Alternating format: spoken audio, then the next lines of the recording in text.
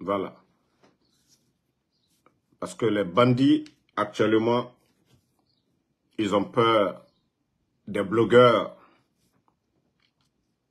Et moi, je me reposais. J'ai reçu beaucoup d'appels. Nanani, nanana. Je n'ai pas échangé directement avec Païkoun, mais je vous garantis qu'il va bien. Voilà. Il va super bien. C'est sa page. Et lui, il est en train de peut-être bien manger un bon plat dans un restaurant. Donc, euh, et je vous ai dit, même le cas de Adi, les gens ne font que parler, parler, parler, parler. Les gens ne font que parler. La justice sénégalaise, ce n'est pas la justice de Dumbuya. Ce n'est pas la justice des putschistes. Voilà. On a dit le problème de Adi, ce n'est pas avec l'État guinéen, mais avec euh, le PDG de Guico Press. Et il a été déféré au parquet, Adi. Son jugement, c'est le 17 le 17 à venir là, à Dakar là-bas. Et je sais que ils vont pas l'extrader comme le pensent beaucoup. Quand on dit oui, récupération. Non. Pour dire ils vont l'extrader, non, c'est le 17 dans aujourd'hui le 11 dans dans six jours, il sera jugé à Dakar. Voilà. Et Païkoun, je vous dis, il va bien. Vous savez, la Guinée, il y a tellement de rumeurs. C'est comme ça aussi. Quand moi, je vais faire un jour, deux jours, je ne vais pas faire de vidéo. Ils vont me dire encore, on m'a payé ou on m'a arrêté. C'est ce que les gens vont dire. Quand je vais faire deux jours sans rien dire, sans parler, ils vont dire ils ont payé Damaro ou bien ils ont arrêté Damaro ou ils ont fait certaines choses. Donc, euh, je vous dis, ces rumeurs-là, ne les, ne les écoutez même pas. Et certains, ce qu'ils veulent faire croire aux gens, que Mamadi a été au Sénégal, nanani, nanana, le changement. Mamadi est venu aux États-Unis ici. Pourquoi nous, nous sommes là toujours, matin, midi, soir? Mota Simema. On parle de bandits matin, midi, soir. Pourquoi? Pourtant, il y a, il y a un département de justice ici aux États-Unis. S'ils sont capables, Bamadi est venu ici aux Nations Unies. S'ils sont capables, je vous dis, arrêtez de, de rêver, quoi. Vous pensez que la justice sénégalaise, elle n'est pas indépendante? Vous pensez que c'est les bandits de Conakry, de la manière dont ils gèrent les choses en Guinée, que c'est comme ça ils peuvent gérer les affaires du côté du Sénégal? Non. Ne les écoutez même pas. Ne les écoutez même pas. Voilà. Qu'on va super bien. Il va super bien. Ça, je vous le dis. C'est sur sa page. Hein. Il, vient, il de publier. Si qu'on avait des problèmes, et n'allait pas vous, vous montrer ce plat-là. Voilà. Comme les gens veulent parler, et comme ses ennemis veulent parler, c'est ce qu'ils veulent, ils n'ont qu'à s'asseoir sur les réseaux sociaux et parler de ça. Ce n'est pas les propos des supporters du CNRD qui feront que nous, on va laisser les bandits là. Vous avez vu le Mali vous avez vu le Mali, ils ont fait un communiqué qu'ils ont suspendu les activités politiques. Pourtant, dans leur charte, hein,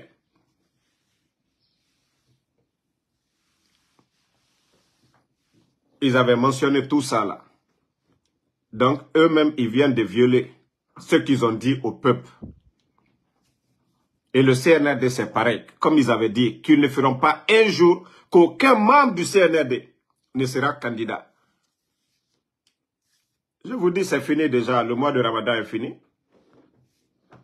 Le pays appartient à tout le monde. Ils ont les armes. Les leaders politiques ont le peuple avec eux. Ils ont les balles, les leaders ont la bouche de s'exprimer.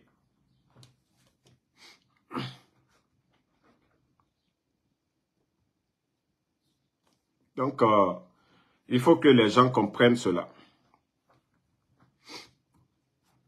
Vous savez,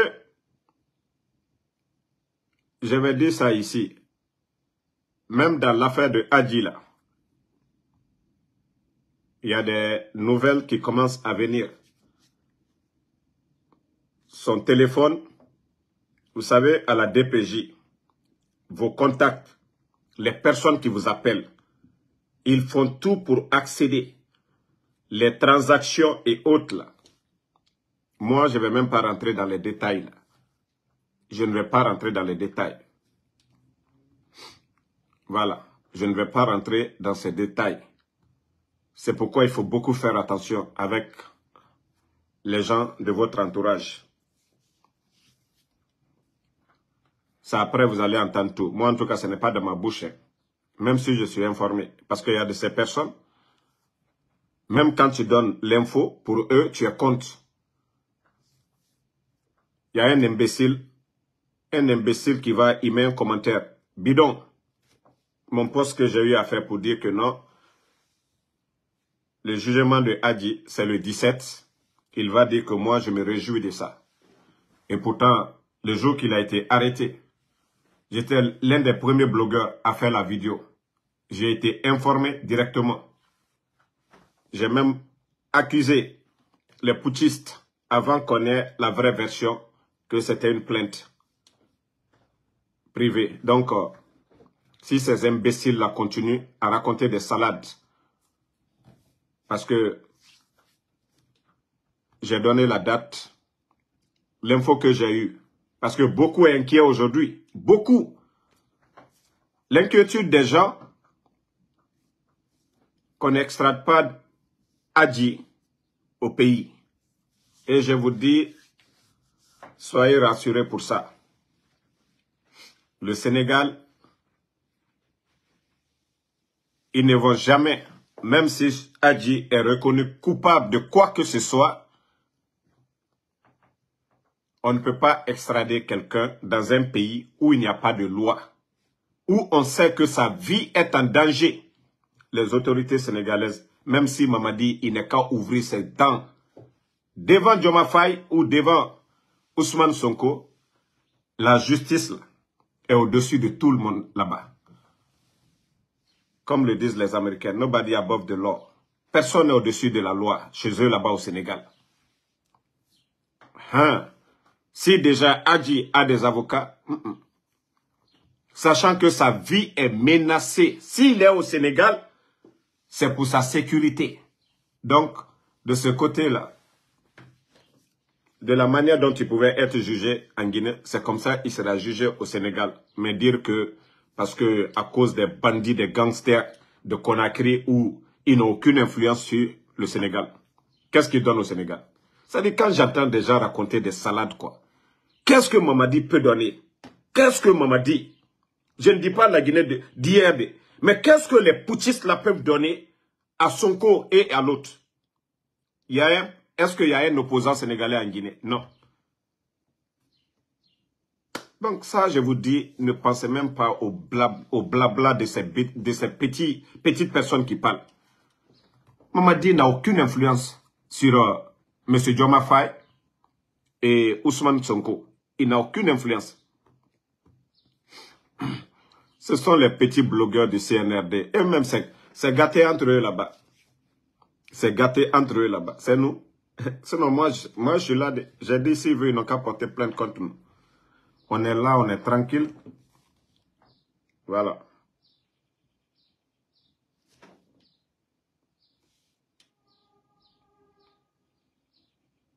Je vous ai dit, pas qu'on va bien. Voici. Il va super bien. Lui, il est en train de manger. Attendez, je vais vous montrer la vidéo.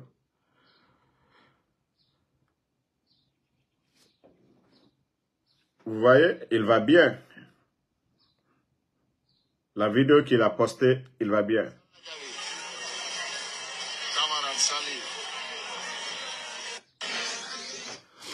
Il, il, est, il était au resto, je crois, il ne peut pas faire de live, il va super bien. Et il va faire le live après, il va super bien. Il va super bien.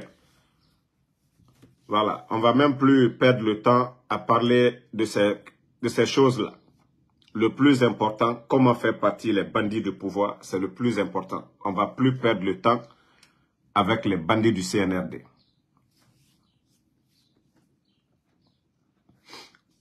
Euh, Yannick Tech, moi je ne suis pas Ousmane Niolé. Et ce n'est pas moi qui paye la facture de Ousmane Niolé. Donc, euh, je... Il est comme moi. Voilà. Il y a eu des moments ici aussi, les mêmes personnes, ils étaient contents de l'arrestation de Niolé. Si Niolé est content de l'arrestation de l'autre, c'est à vous de voir. Moi, je ne suis pas là pour juger quelqu'un. Il y a eu des moments où ils ont mis Niolé en prison ici. Qui parmi ces gens est sorti pour soutenir Niolé? Donc, moi, je suis pas là pour soutenir ou juger qui que ce soit. Voilà. Niolé est libre de s'exprimer. Et ce n'est pas à moi de dire Niolé n'a pas droit de dire ça. Non? Voilà. Donc, euh, si c'est ce qu'il pense, ça n'engage que lui. On a vu pour les autres ici. Ils ont souhaité qu'on mette Niolé en prison. Ils l'ont mis en prison. Il est sorti. Donc, ce n'est pas à moi de venir dire telle personne a raison ou pas. Voilà. Et moi, en tout cas, ce que je tiens à dire, hein, matin, midi, soir, nous sommes ici. Adi au Sénégal, il a problème. Il doit prendre un avocat. Il a une famille, il a des enfants ceux qui connaissent Adi, je n'ai pas besoin de dire le nom de, ses enfants ou de sa femme ici. Mais ceux qui sont à Dakar, qui le connaissent, qui le côtoient, ils peuvent témoigner. Sa femme est là-bas. C'est lui qui s'occupait. Donc, je vous dis dès maintenant. Matin, midi, soir, vous mettez les likes, les cœurs. Maintenant, il a des problèmes. Il a une famille derrière lui. On est avec toi. On est avec toi. On est avec toi. On est avec toi. Sa femme et ses enfants sont là-bas. Je prie le bon Dieu qu'il retrouve sa liberté. Mais la première des choses, c'est d'abord sa femme et ses enfants qui se trouvent du côté de Dakar. Il faut trouver quelque chose pour ces gens-là. Ces innocents-là, ces enfants-là, qui n'ont rien à voir dedans qui n'a rien à voir dedans. Donc, cherchez à trouver quelque chose pour sa femme et ses enfants. J'ai fait six mois à Dakar, je sais la vie de Dakar. Comment est la ville de Dakar? La C'est-à-dire, tu n'as pas d'argent Dakar, il ne faut même pas rester. Donc, ceux qui disaient, ah, ils sont avec Adji, Adji, Adji, Adji.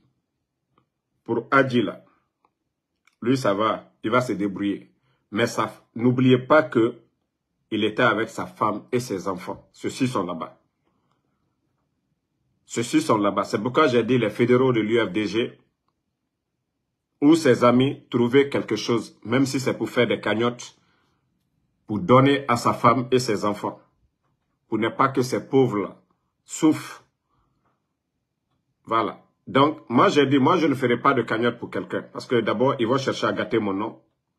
Mais je dis quelqu'un proche, si c'est sa femme, elle a Orange Money du côté de Dakar, que quelqu'un proche de lui prenne ce numéro-là, nous communique, si ça appartient à sa femme, nous allons tous contribuer, envoyer quelque chose à sa femme pour qu'elle puisse entretenir ses enfants.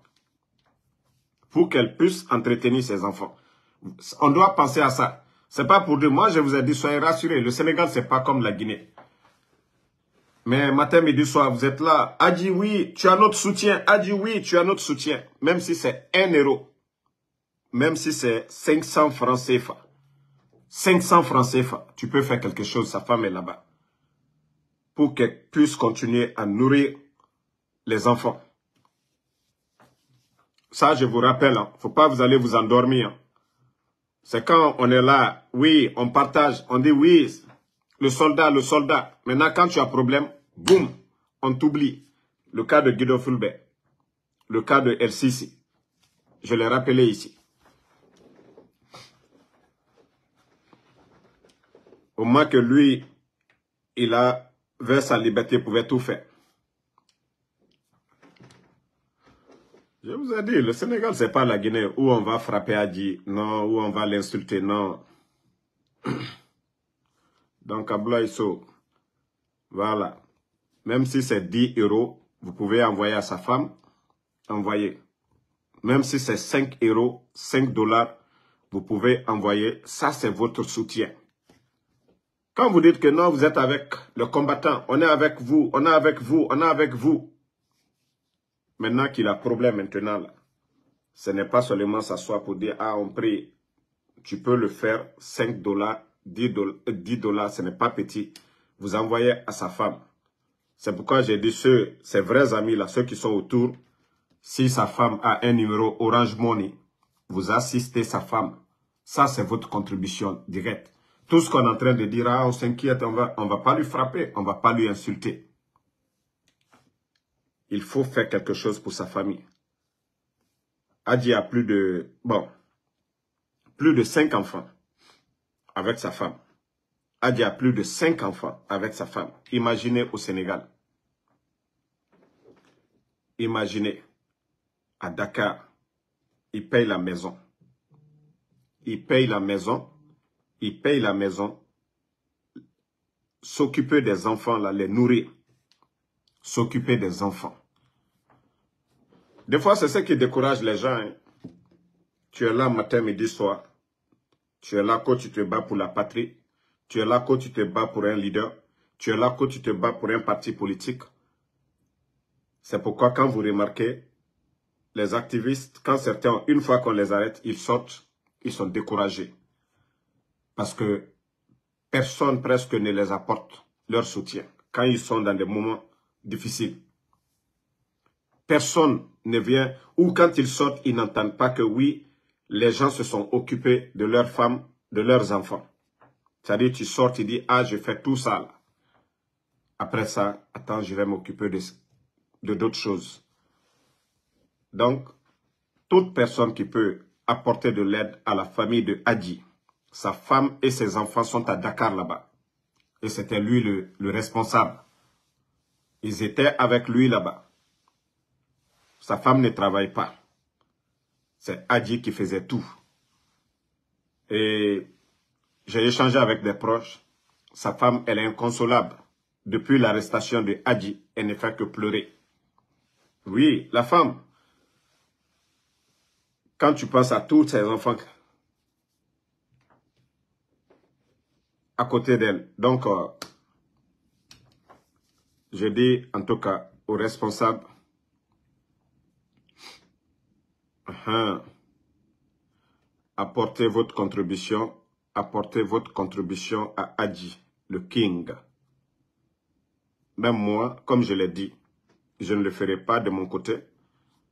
Et c'est les réseaux sociaux. Voilà. Euh, Omar, moi, je pas le numéro de sa femme et Demain, je vais tout faire, chercher le numéro de sa femme. Une fois que je l'ai, je peux même publier sur ma page ici. Et comme ça, tous ceux qui veulent apporter quelque chose à sa femme, voilà, vous allez apporter votre contribution. Ce n'est pas dire, ah, ils vont envoyer Adi en Guinée ou quoi, quoi. Non.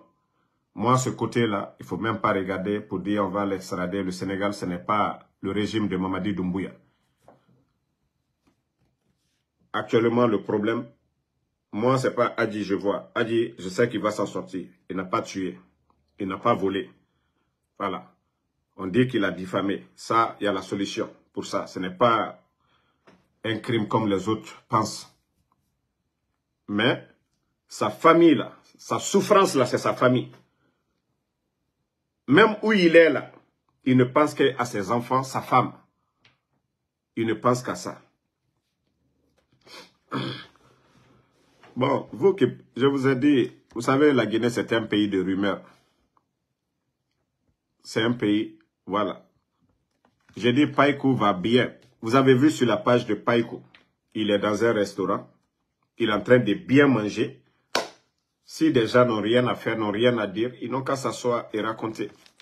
Le combat, c'est le départ du CNRD. Nous, les blogueurs, là, ils ont peur de nous. Pourquoi? Parce qu'ils eh, ont déjà fermé des médias en Guinée.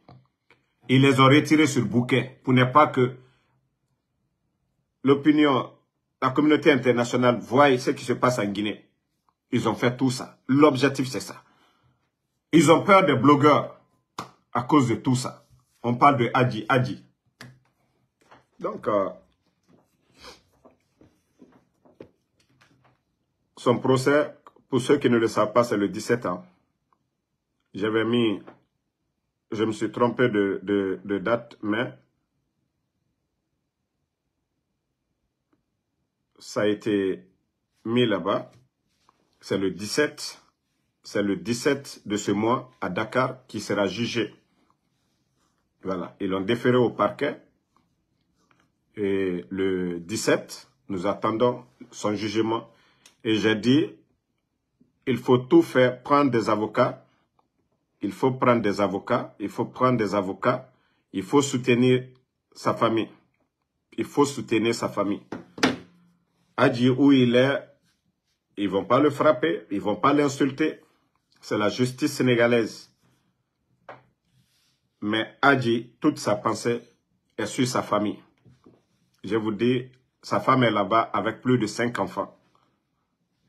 Ça, c'est sa femme et ses enfants sans les moyens. C'est pire que où Adji se trouve. Parce qu'en prison, on ne va pas les laisser sans manger. Mais au dehors, qui va donner l'argent de popote à sa femme? Qui? Il faut penser à ça. Hein? Tous ceux qui disent on aime Adji, on aime Adji, on aime Adji, on aime Adji. C'est pourquoi quand il y a un imbécile qui est venu mettre le truc sur ma page, comme moi, c'est comme si je suis content. Moi, qu'est-ce que j'ai pas dit ici? Qu'est-ce que j'ai pas dit ici?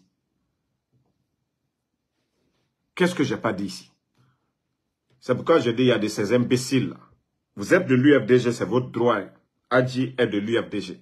Mais il faut faire la part des choses. Il faut faire la part des choses.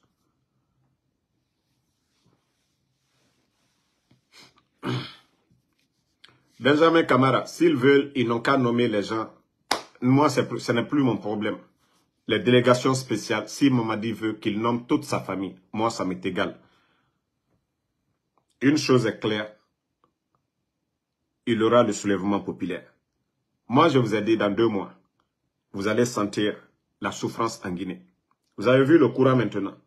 On vous donne, je crois, de 17h à 7h. Après, de 0h à 7h. Ce n'est que le départ. Hein. C'est un problème d'argent. Vous avez vu le jour de la fête? Ils peuvent donner 24 heures l'électricité. C'est un problème d'argent. C'est pas parce qu'il n'y a pas l'électricité. Comment ils ont fait hier? Le jour de la fête, quand on vous dit, ah, il n'y a, y a pas d'eau, c'est rentré. Je vous dis, c'est du blabla. C'est du blabla. Le CNRD, ils n'ont plus d'argent ils n'ont plus d'argent. OK? Ils n'ont pas respecté aussi les accords avec les Chinois. Qu'est-ce que la Guinée Quand j'entends des gens parler si le président Fakonde n'a rien fait. Les barrages là, c'est vos papas, c'est vos salives. Quand l'État, c'est pour nous, soit petit, l'État guinéen devait tout faire la voie. Les bandits sont venus, ils ont tout gâté. Ils ont, ils ont mis le pays en retard encore 20 ans en arrière. Mais tu vas entendre des, idiots pour dire, oh, donc euh, l'affaire des barrages, on dirait que lui, il a mis 5 francs. C'est la sagacité des auteurs. C'est quand tu mets, tu payes l'impôt régulièrement, comme aux États-Unis ici. Si la route est endommagée, tu peux, tu peux te plaindre. Mais toi, tu, donnes pas, tu ne donnes rien du tout. Toi, tu es flanqué à la maison. C'est quelqu'un qui donne euh, la popote, tu dis, il n'y a pas de viande en bas. Et si tu es fâché, tu prends ton argent, tu vas acheter la viande. C'est comme ça. C'est quand on paye l'impôt que oui, on est libre, on réfléchit, on dit ce qu'on veut. Tu entends des gens, eh, le président Alpha Condé, il a dépensé de millions l'argent du contribuable guinéen. Quand on dit l'argent du contribuable guinéen, c'est l'argent d'impôt. Mais Mamadi aujourd'hui, il est en train de vous montrer la question que vous devez vous poser. Et comment le président Condé, avec Ebola, Covid, les manifestations, et comment le président Fakonde s'arrangeait pour donner l'électricité 24 heures? C'est la question à poser. C'est pas de venir dire, ah donc on nous a trompés. Oui, c'est cette propagande qu'on va vous faire croire.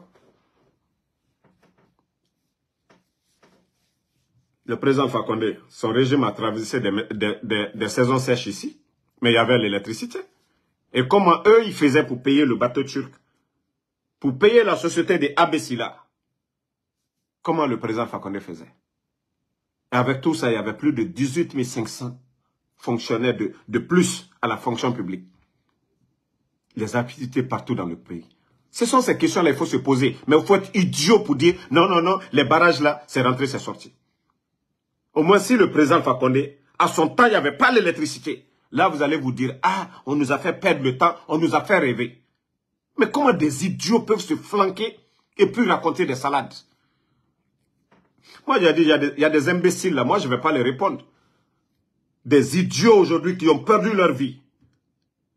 Toute leur vie, ils sont aujourd'hui zéro. Ils sont zéro aujourd'hui. Moi, je ne vais pas répondre à ces imbéciles là. Voilà. Ce qu'on vous demande, c'est de soutenir Adi. Je vais vous laisser. Non, Mata Diaby, en tout cas, merci. Voilà, il faut, il faut cotiser et pour soutenir Adi. Voilà. Je vais vous laisser. Merci à tout le monde. Le combat continue. À partir de demain, Inch'Allah, le combat politique, on reprend face au CNRD. Voilà.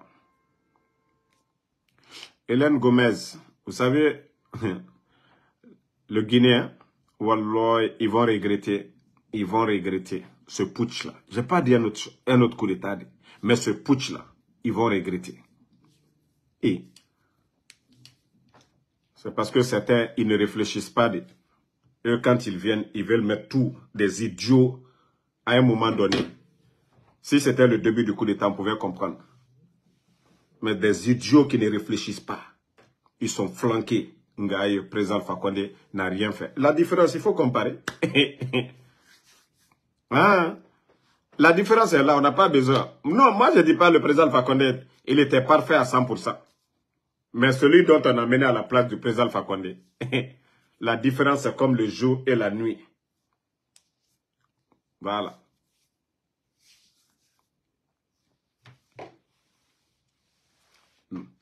on apprend que l'ambassadeur qu'on refuse de signer la carte consulaire pour...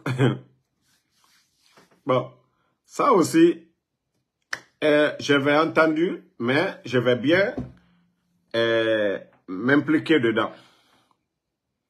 Donc, euh, si l'ambassadeur refuse de, de, signer, Adji est libre. Voilà. Il peut se réclamer Sénégal, ça va. Ça nous arrange. Et c'est pas comme ça qu'ils ont fait avec le président Fakonde. Bala Samour a pris le passeport du FAMA. Il a pris les documents du FAMA. Et le FAMA est parti. Après, eux, ils ont demandé que non, le FAMA, on doit l'envoyer en Guinée. Nanani, nanana. Comment le FAMA va rentrer Si vous avez retiré son passeport et tout, lorsqu'il montait dans l'avion? Donc, euh, si l'ambassadeur veut, ou quoi, je vais dire à ces gens-là, vous pensez que Mamadi va rester? Vous étiez au Sénégal, vous avez vu comment le régime a changé au Sénégal. Demain, là, demain, quand ça va changer, là, vous n'allez plus parler. Voilà. Ne donnez pas le droit, hein, si vous pensez que les quatre, là, le, bandit Mamadi Doumbouya est venu trouver que le FAMA, ils ont mis la carte d'identité biométrique, les passeports biométriques en place. Ce n'est pas Mamadi. Hein. Les réformes, là, le bandit est venu trouver tout ça. Et même les ambassadeurs, là, au temps du fameux, on les avançait plus de trois mois. Mais depuis que le bandit est venu, beaucoup parmi eux n'ont pas reçu de prime jusqu'à présent. Si des petites personnes, vous vous flanquez au Sénégal là-bas, on vous dit de signer la carte consulaire de l'autre, vous refusez de signer parce qu'à cause de, ces bandits-là. Stéphane qui, depuis le Burkina, merci. Bana Bana, merci à vous. Le combat continue. On est ensemble, la famille. Voilà. Lamzi Komara, merci. Tcherno Mamadou Diallo, voilà, merci à vous. Abaka Nanasila, je vous ai dit, c'est vous qui êtes dans, c'est vous qui êtes toujours là quand il va s'aimer ce qu'il a récolté. Moi, c'est pourquoi il y a des nafis sur Facebook, je n'aime pas leur affaire. Ils sont là, hein. tu fais quelque chose de, qui, les qui les arrange. Oh, on est avec toi. C'est quand tu as des problèmes que tu vas voir des vrais visages. Comme le papato, là, Abakanana Sila, là, qui dit que non, il va regretter. Tu as eu problème avec Adji? Non. Voilà. Donc, euh, otanana face otanana mege raconte otanana facebook ma mege no fera ba otana fala ma c'est comme ça. Khaimu mege soutenir ma ibi blare bombo ma. Tina afindi ma ifanga tour amu mege yo faga voilà. Suleiman Boel merci à vous. Kamara Ali Sona merci merci Asuma Soumaïla Nambassa depuis le Niger. Bonne fête à toi mon frère. Voilà Mustafa So merci. Bonne nuit, le combat continue.